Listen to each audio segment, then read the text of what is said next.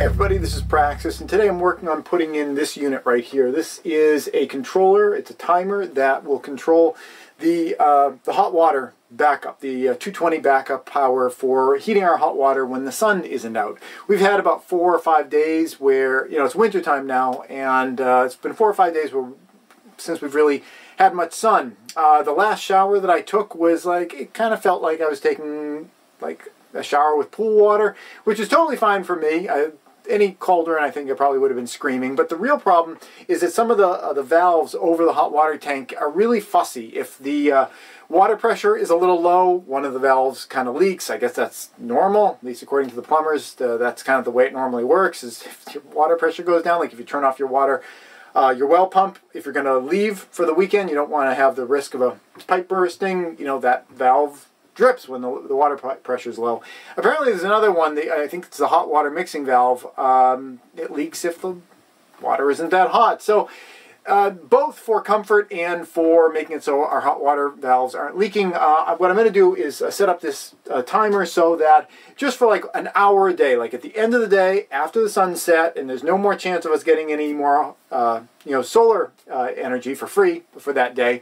This will kick on. I'm going to experiment with it. Maybe it's a half an hour, maybe it's an hour, maybe it's more than that.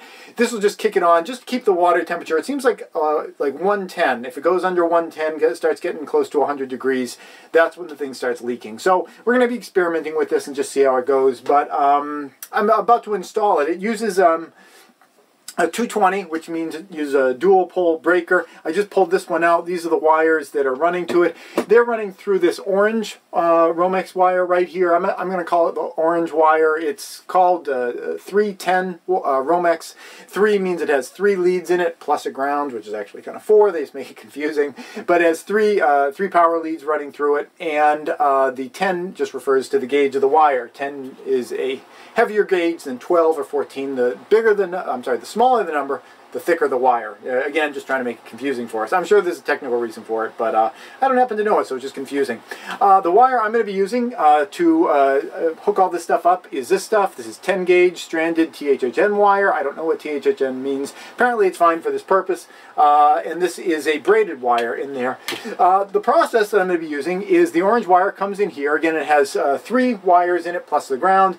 two of them is this red and the black. These are kind of like the hot wires. These are what had gone into the breaker, which is down there. I'm going to run these into this guy. Uh, they're going to uh, pop up in here. And then I'm going to uh, add two more wires. I'm going to color code them. This is all white. I've got some tape here to color code it. So one will be black, one will be uh, red by just wrapping a little bit of tape at the end. And then they're going to continue down, and those are going to be what plugs into the breaker. This is like a light switch. When you have a light switch in a light in an electrical box, you have the ground that comes in. You kind of ground out the box and continue that through. You have uh, the white uh, wire, which just yeah yeah the white wire just continues on through up to the uh, the lighting fixture, and it's the black wire, or in this case the black and red wire, that are the ones that get switched. Uh, so that's what this is going to be. But instead of having just the black wire get switched, you have the black and the red because it's 220 instead. So that's the plan. The only um, difficult thing right here uh, is I've got this secured here. I need it on this side. We're going to be doing some stuff related to the solar over on that side. So I want it over here. I needed it at the top because it is. Um, uh, yeah, well, that's where the orange wire comes in, so I don't, I w I won't have to do any like, um, uh, you know, wire nuts or anything.